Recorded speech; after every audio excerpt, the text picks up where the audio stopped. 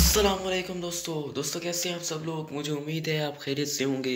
तो दोस्तों आप आ, से मैंने एक पिछली वीडियो में ज़िक्र किया था कि लोग किस तरह मास्क पहन सकते हैं तो उसकी मैंने एक रीज़न दी थी। आज मेरे पास बहुत सारी रीज़न्स हैं।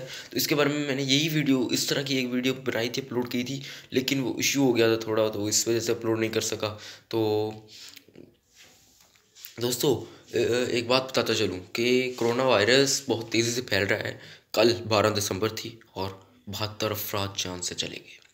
अल्लाह उनको, अल्लाह उनकी मफरत फरमाए, आमीन। तो दोस्तों, बात कर लेते हैं कि लोग हम किस तरह कोरोना पर काबू पा सकते हैं, लोग किस तरह मास्क लगा, लगाएँ, लोगों को किस तरह बावर कराया जाए कि वो मास्क लगाएँ। तो नंबर वन, मैंने आपको जो बताया था, गवर्नमेंट को फ़ाइन लगाने चाहिए, टेन से fifteen thousand. Number two government को इस पर सख्ती से कोई मतलब मारपीट नहीं करनी चाहिए। मतलब कि उनको जो बंदा मास्क नहीं पहन रहा, उसको घर से ना निकलने दिया जाए। नंबर तीन, उसको किसी शॉप पर जाने ना दिया जाए। पहले इस तरह होता था, दुकानों पर लगा होता था, नो मास्क, नो एंट्री।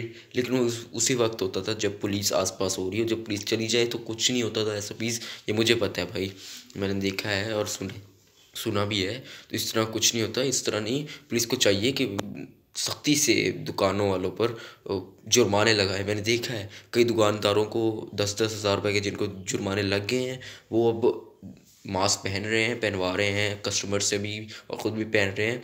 तो इस तरह हम काबू पा सकते हैं कोरोना पर और मास्क लगाने पर, लोगों को बावर करा सकते हैं? और ये है कि जो बस यही है कि मेन चीज़ मैंने पिछले आपको ये बताया था कि गवर्नमेंट को फ़ाइन लगाने चाहिए। अब ये है कि लोगों को जो मास्क नहीं लगा रहा, उसको कहीं जाने आने ना दिया जाए, ठीक है?